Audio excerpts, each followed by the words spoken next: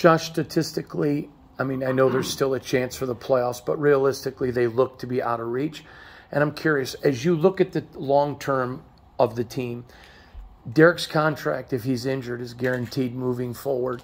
So if you guys continue to play him, is that a hey, we're sticking with him in the future, or is that something things that all things that have to be talked about? Yeah, I mean, I think there's a lot of things that are going to go into that bucket once we kind of sort through after tonight.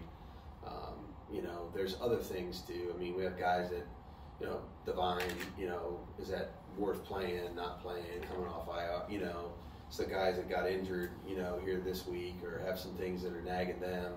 I think there's a lot of things that you start to, you know, talk about relative to taking care of the people um, that are dealing with things like that, um, injuries or contracts, what have you. Um, I think you got to consider all that stuff. We just got back in this morning, you know what I mean? So we're, we're going through the game. We're going to coach the game and correct all the things that need to be corrected.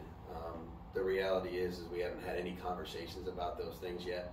Um, and you know, as we go through the next 24 to 48 hours, I'm sure we'll sort through some of those things. But um, you know, we're aware of all all those things too.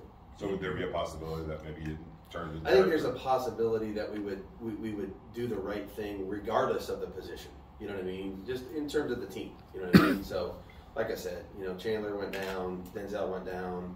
You know, rushing those guys back. Divine is another one. I mean, there's a lot of things that could go